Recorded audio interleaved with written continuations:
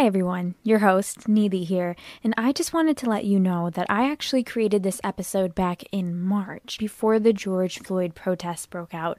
So, in that respect, it might be a little bit outdated, but I still think that a lot of the topics I touch on and things we talked about still hold true today. If you'd like to see a future episode talking about the George Floyd protests and adding that as a layer to this episode's topic, please let me know. Um, shoot me a Facebook message or Instagram Insta message or leave a comment on one of our posts.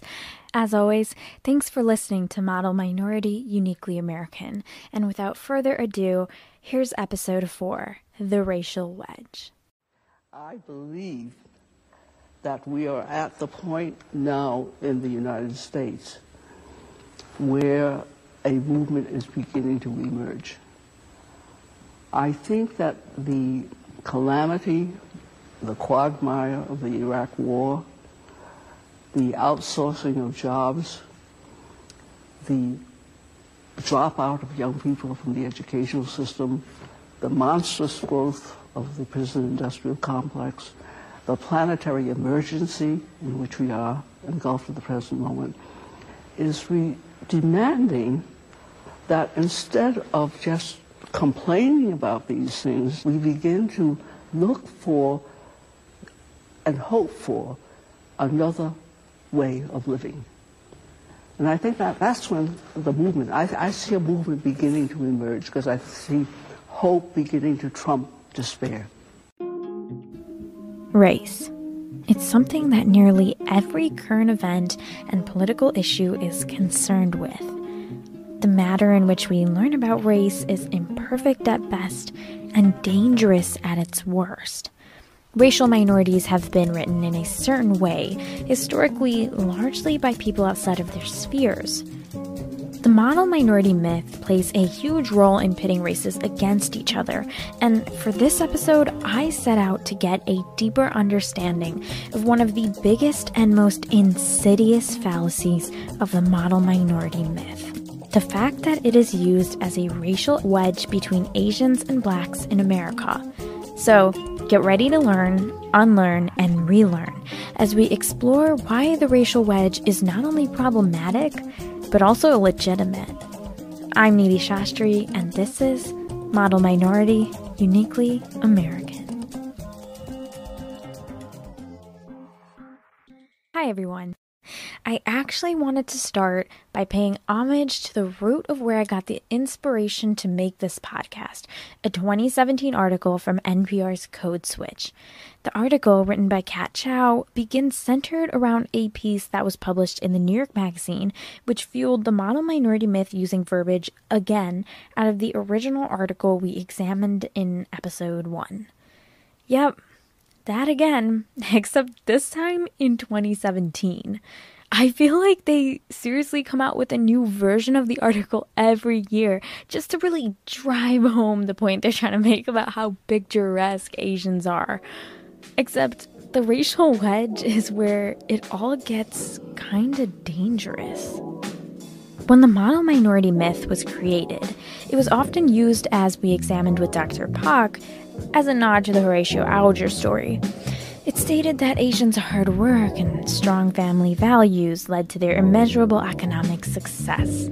And what it thus implied, to put it starkly, was that other minorities were just not working hard enough. More particularly, black Americans. This has not only created an entire social system of how we perceive both blacks and Asians in America but it has also fueled interracial tensions between the two groups for years. And more recently, it's been used to pit Asians against Latinos as well. And it's a shame, because as Grace Lee Boggs, an Asian American activist who we heard from in the intro, worked to point out, we have far more in common than we realize. However, Asians aren't the only one pit against blacks and Latinos due to the model minority myth. A lesser known victim? African immigrants. This is due to a perception of hierarchy within the black community that has been created by the same normative majority that created the model minority myth. It feeds on the idea that African immigrants in the States are the quote unquote better blacks and are harder working and hold stronger values than their African American counterparts. And as you can imagine, there are a lot of flaws with this way of thinking, including the fact that both groups are in fact black. But it's so instilled within American society that even Africans overseas are aware of it.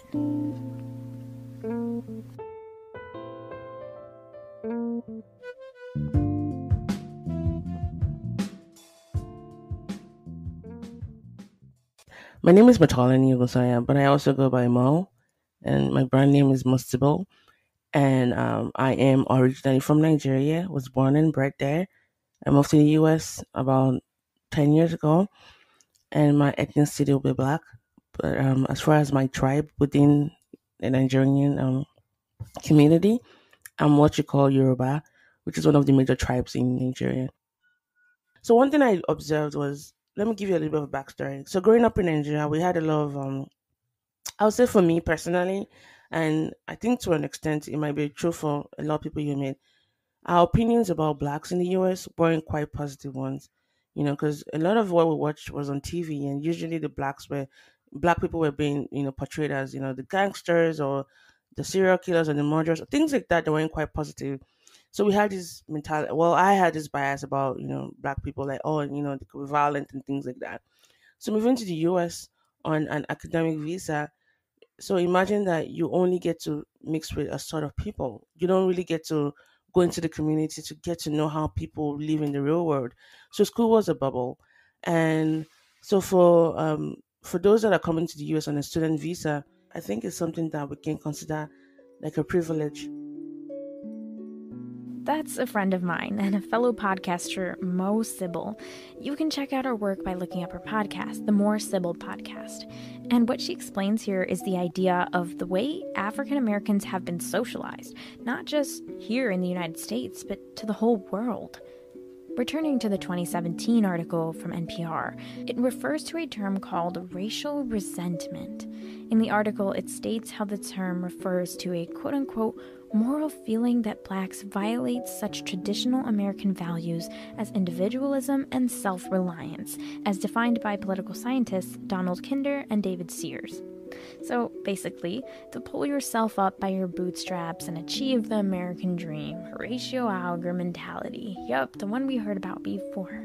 But as we examined within the context of economically struggling Asians and Africans, this is a problematic ideology. It's an unfair and selective representation of all of us. All the while, it ignores hundreds of years of racial struggles of African Americans and struggles that continue in new forms such as police brutality, environmental injustice, and school to prison pipeline, even today.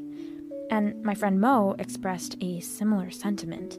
So yes, um, I, I I think that's the the privilege we have as Nigerians, as blacks, uh, especially those that left Africa to come to the US um, on a student visa, is that the the black community as a whole they haven't quite experienced that you know gain.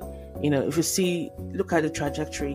And so when they talk about blacks, you know, making a lot of gains in the US, you find that if you were to look at the within group differences, you see that it's a lot of immigrant blacks. And I feel like as Africans coming here, we can't take that for granted because God forbid if a cop were to stop you, he's not going to ask, "Oh, you're from Africa, right?" No, you're just going to be black. Exactly. If you're stopped by cops, you're not going to be seen as XYZ identity. You're going to be seen as black, regardless. As Dr. Barra said in a past episode, the black experience becomes a common experience. However, the politicization of African immigrants, similar to Asian immigrants and refugees, becomes dependent on context. And because of that, it's easy to get stuck in the wrong side of the stereotype. The fact of the matter is, there is no room for nuance to this myth. Rather, there is a framework set up by it that forces racial minorities into their respective quote unquote place. This myth has been in part intentionally created to compare and devalue African Americans in whatever way possible, and Asians were a convenient and strategic pawn in doing so.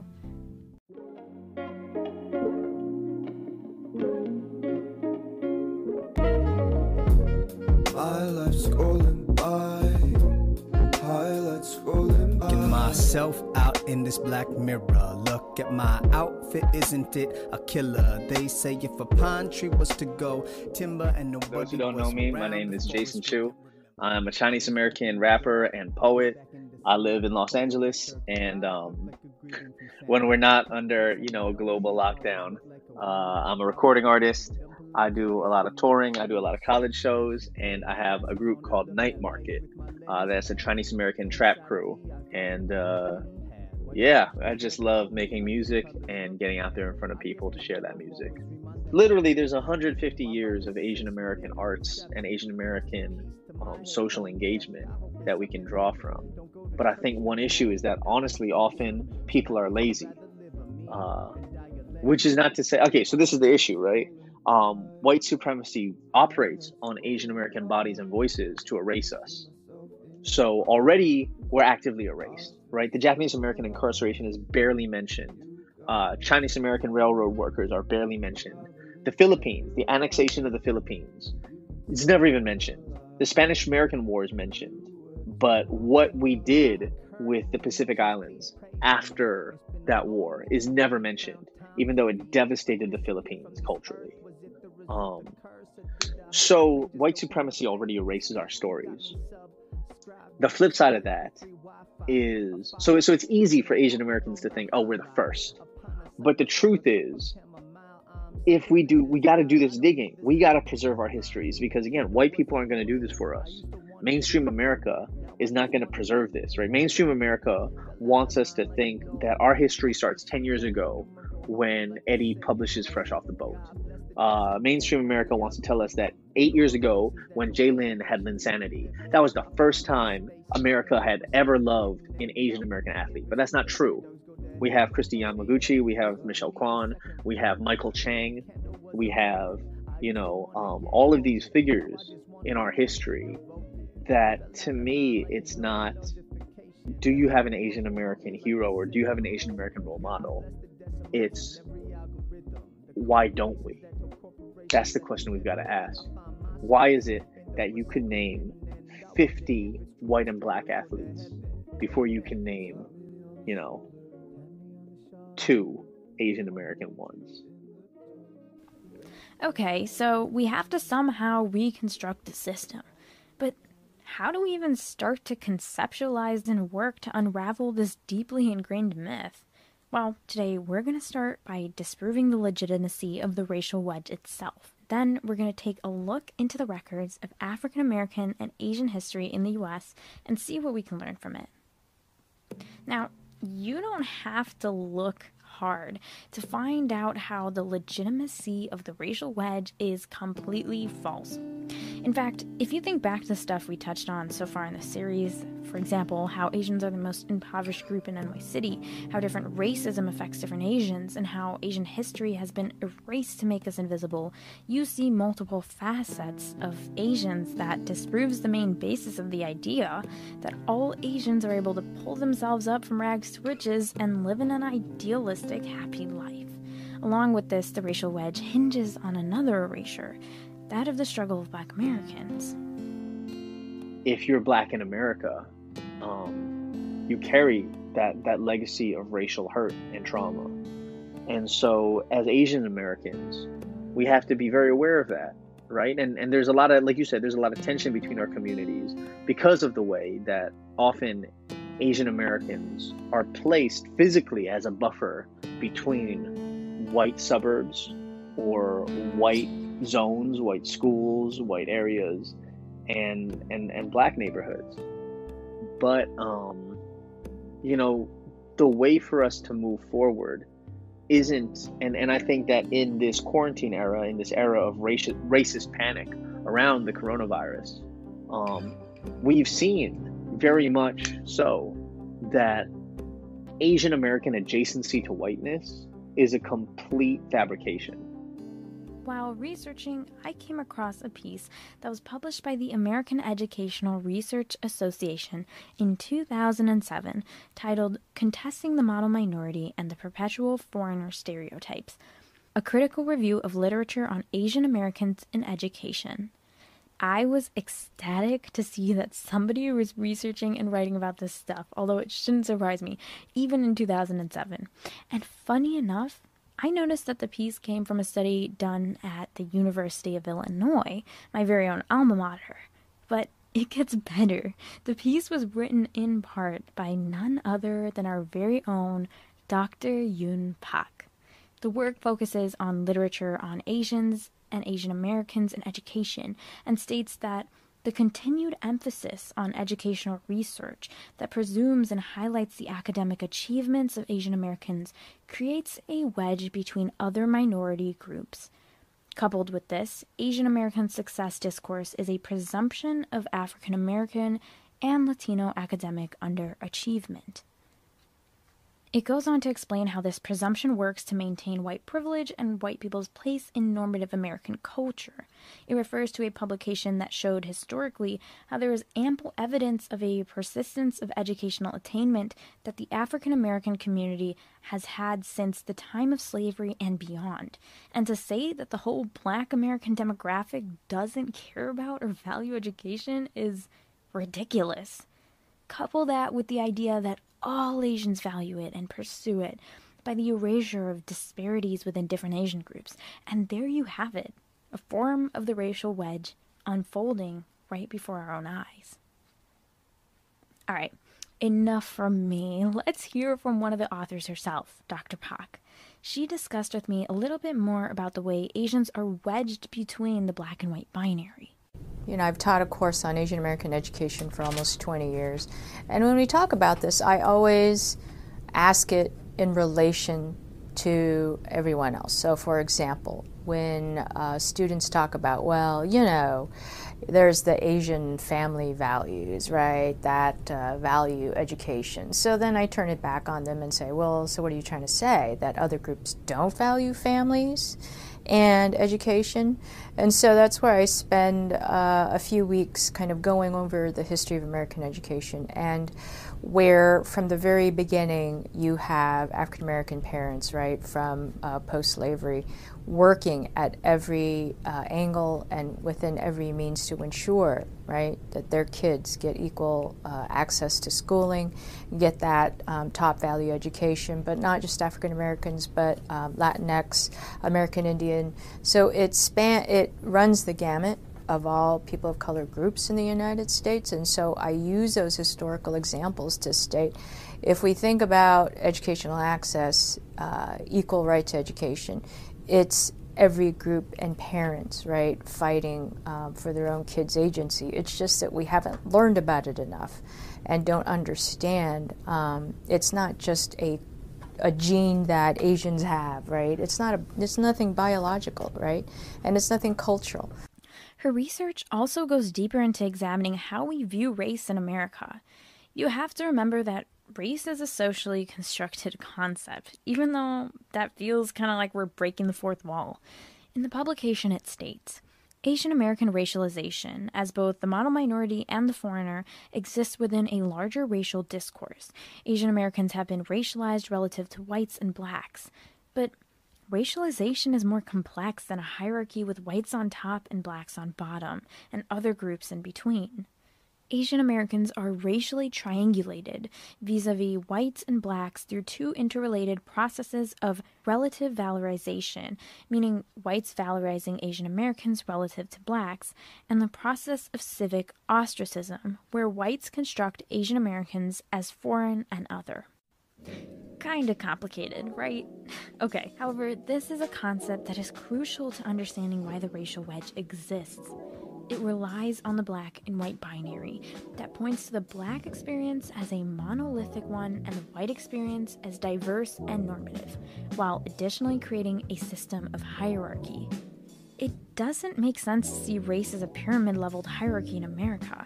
One of the reasons for this is quite simply that not all Asians are the same race. Okay, sounds weird, right?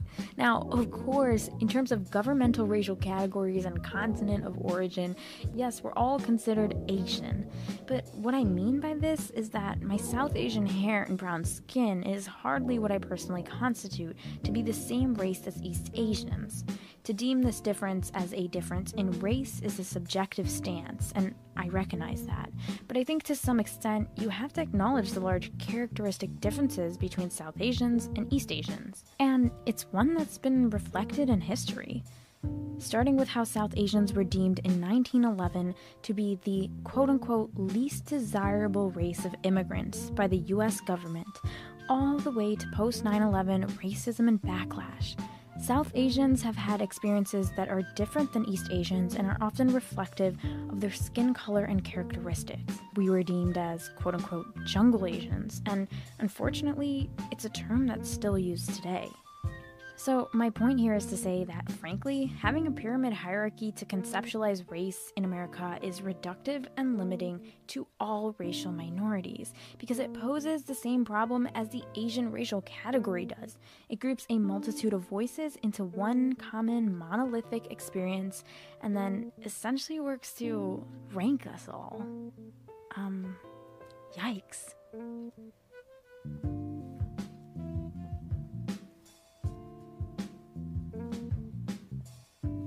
Now, in order to knock the racial wedge ideology off of its legs, we need to also consider this pyramidal hierarchy in relation to another underrecognized group African immigrants.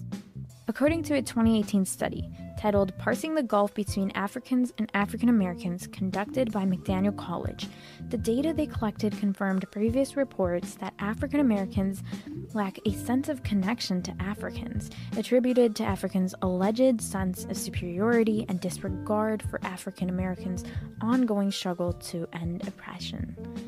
The article states this primary lens, in which race and racism are central, appear to be less salient among black immigrants. Fewer of them are socialized to be wary of an oppressive ruling class of a different race, and they often arrive in the US with greater capital to concentrate on upward mobility, contributing to their representation and reputation as the model minority.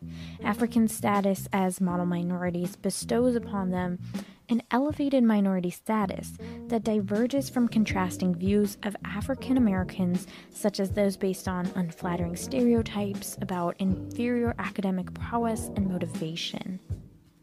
So basically, what it's saying is that the perception of African immigrants as model minority goes back to the way they were politicized against African Americans. And that perspective has permeated into the black community, leading African Americans to have a perspective of African immigrants as privileged, hyper focused on school, and lacking empathy or motivation surrounding racial struggles.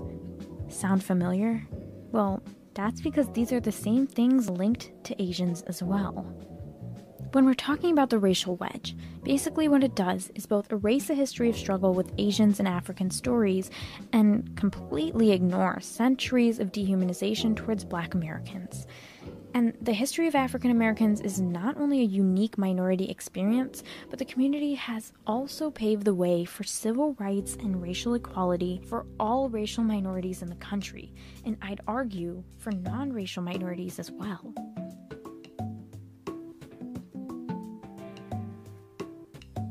So now we have more context to the divide between African Americans and Asian and African model minorities in the US. But what I also wanted to know was in what ways have we historically defied this myth and instead stood in solidarity? And what can we learn from it? Because while there's a lot of solidarity between blacks and Asians, often there's a lot of tensions too. Crash Course Asian History Time.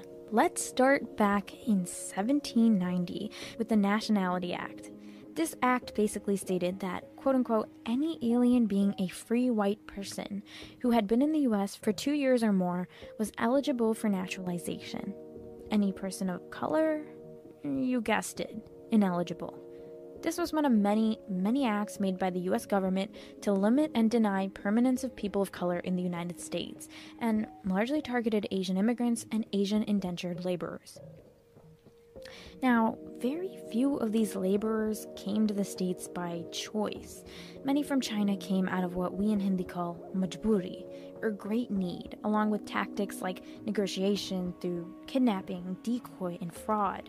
Others from Hindustan, or the South Asian British Raj at the time, came from the largely overwritten South Asian slave trade, which was a system of kidnapping Indian families, women, and children and selling them to create colonies in the African and North American world. Though record of this is harder to find, one place it has been recorded is in a book by Indrani Chatterjee from 2006 titled Slavery in South Asian History. These laborers were labeled coolies, a word that derives from the Hindi and Tamil word kuli, which means wages, and it's now widely known to be a racial slur. The Naturalization Act of 1790 was one of the first binding factors between the African American, Asian, and African immigrant community. All of us were facing oppression and barred from citizenship status under this law.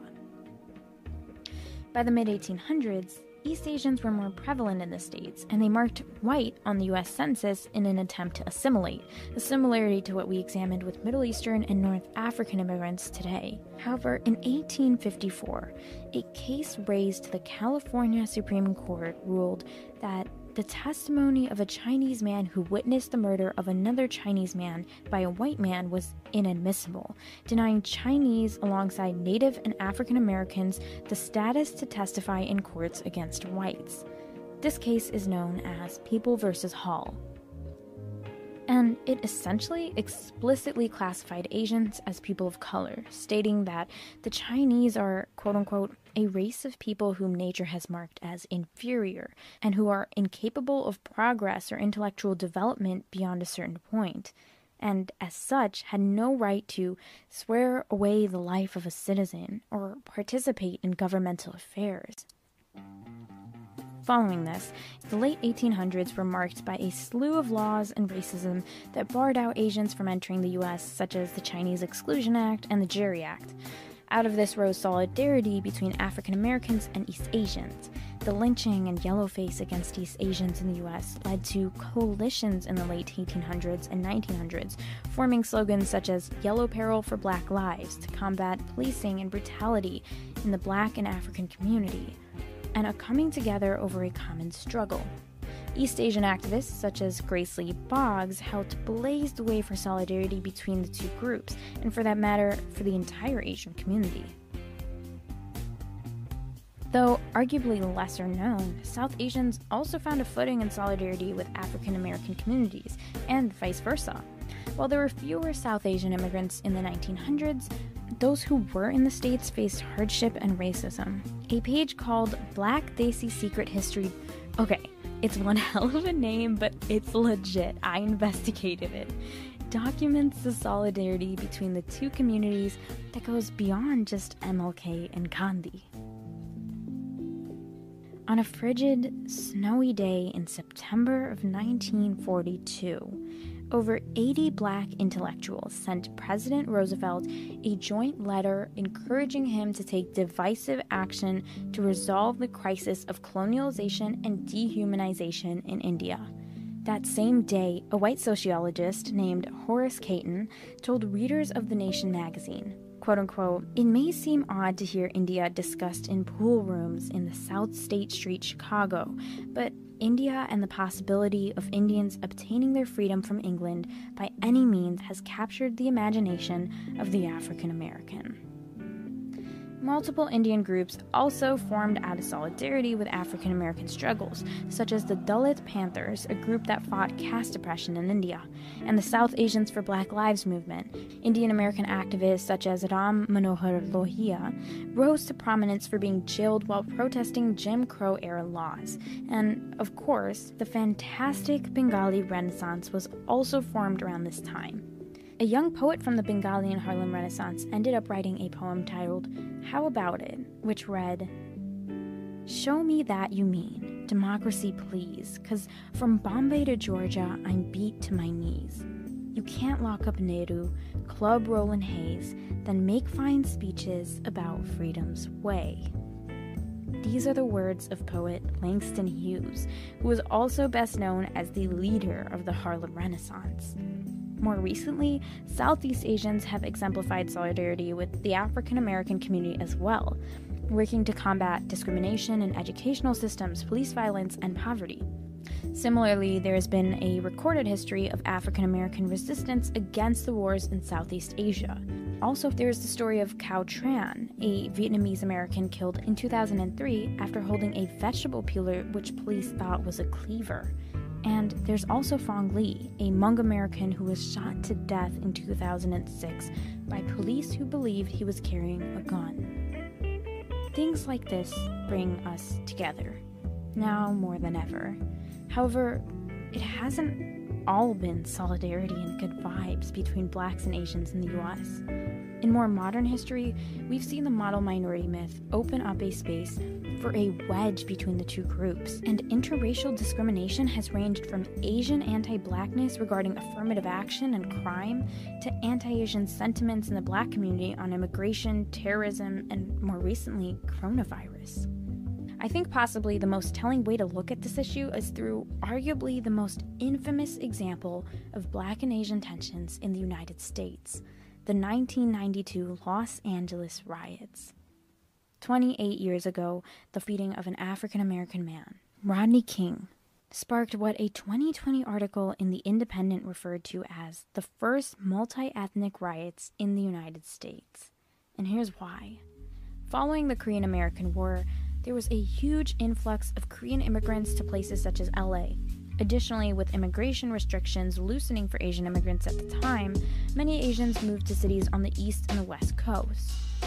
Unable to qualify for housing or afford rent in spaces in white neighborhoods, they moved into historically black, underserved communities and opened up convenience stores.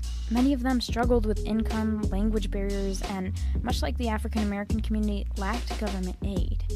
And like most immigrants from Asia, this was what they thought was the right path to the American dream. However, they were warned early on to be wary of one particular group African Americans.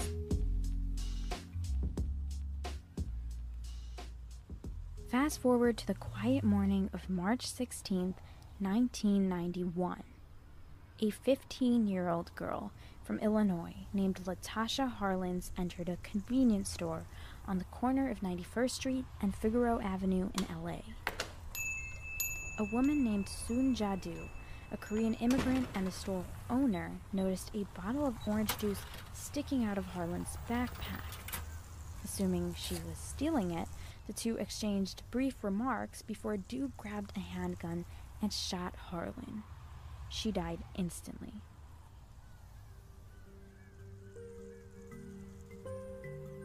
This was less than two weeks after video broadcasting of the beating of Rodney King, and with it boiled over the culmination of long standing racial tensions in LA between Asians and African Americans. The sudden and large influx of Asians into black communities, as well as language barriers, led to discrimination from the black community towards the Asian community, and stereotyping, the assumption of criminal behavior, and demonization of the black community by Asians led to discrimination from Asians towards the black community as well. In the following riots, according to the article from The Independent, of an estimated $1 billion of damage perpetuated, 40% was inflicted on Korean Americans, who armed themselves and formed self help groups as the police failed for days to stop the killing and looting. And tragically, the community never truly recovered. Police brutality is still an issue. Asian and black communities face high interracial tensions, and we are all seeing these tensions play out even today. But what the riots did do, in fact, was put these issues on the map. And now, we have to learn from them. All races in America, including white Americans, have experienced police brutality in some manner, according to the statistics from mappingpoliceviolence.org. And it's an issue that should hit home for the Asian community too. The 1997 killing of Kwan Ching Hao, an intoxicated Chinese American, was a result of police who feared his quote unquote martial arts skills and decided that that was a reason to take his life. And even an event as recent as 2016 was the horrific assault of Sureshbhai Patel, a Gujarati immigrant like my own family, who was walking peacefully in his Alabama neighborhood when a man deemed him suspicious and called the police. Patel didn't speak any English, and the encounter with police led to an assault that left him paralyzed. Any charges pressed against the officers involved were, you guessed it, acquitted. This isn't just a reality for black people in the US. It's a reality for all of us. And in many moments post 9 11, brown South Asians have been weaponized in the eyes of the American public. That's why Asians need to care. Because if having empathy for the struggle of others for whatever reason isn't enough, you need to realize that we're only safe until we're not. In a 2014 article in Time magazine by Jack Linshi titled Why Ferguson Should Matter to Asian Americans, the author calls for an increased solidarity between the groups, especially in the face of riots and racial injustice. It opens describing a vine that went viral after the Ferguson riots, which depicted a South Asian convenience store owner standing quietly in the middle of his destroyed store. Are you okay, sir? Yes, sir. It's just a mess. It's hard. It's hard to unlearn and relearn when you've been socialized to demonize the other side. It's hard when you're seeing your own race, your own brothers and sisters, your own community disproportionately killed at the hands of an institution that should exist to protect you. And it's hard when you see this unrest in society and your life's work, which you use to barely make ends meet, destroyed in front of your eyes. At some point, we see so much injustice and the tension between the two groups that it's hard to step up and say, I see you, I see your struggle, and I'm with you. But there are always people doing it, just as they did many years ago, and that gives me hope.